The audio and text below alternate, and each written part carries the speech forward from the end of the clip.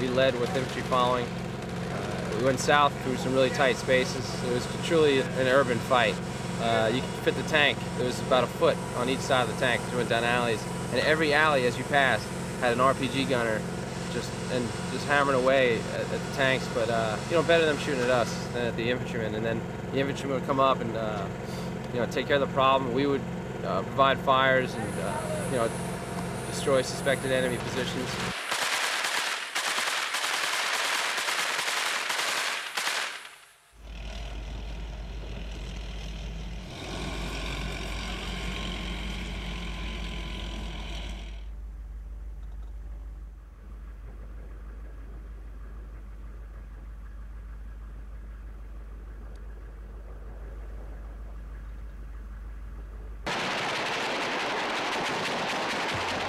Ammunition, RPGs, mortar tubes, uh, vehicles stored with uh, 60 Mike Mike anti-aircraft guns.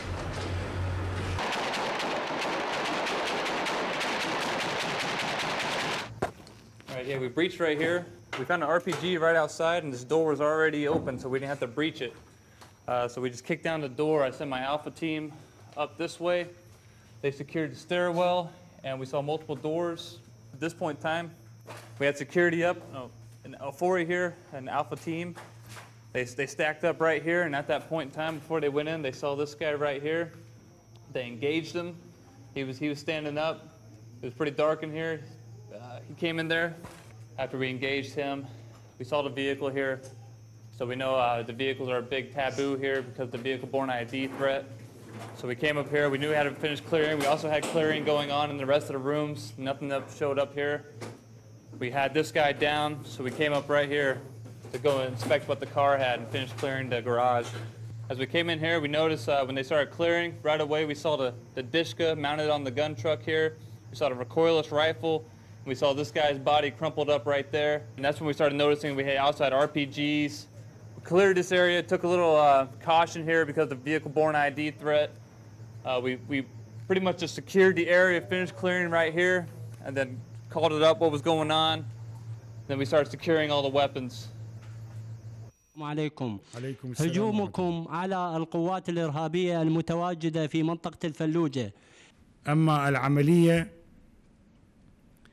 الكبيرة والتي سميت بالفجر فقد أنجزت ذهبنا وزرنا المدينة أود من خلال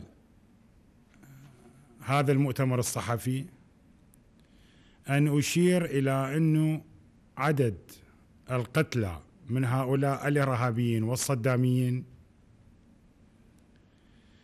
وصل إلى أكثر من ألف من النظرة إلى الهجوم على الفلوجة آه، دمرت المدينة. وفي المناسبة أود أن أشير إلى حقيقة أنه أبو مصعب الزرقاوي ولا عبد الله الجنابي هربوا مع مبادئهم التي يرفعونها. وجعلوا أنصارهم يذوقون كأس الموت وكأس المنية.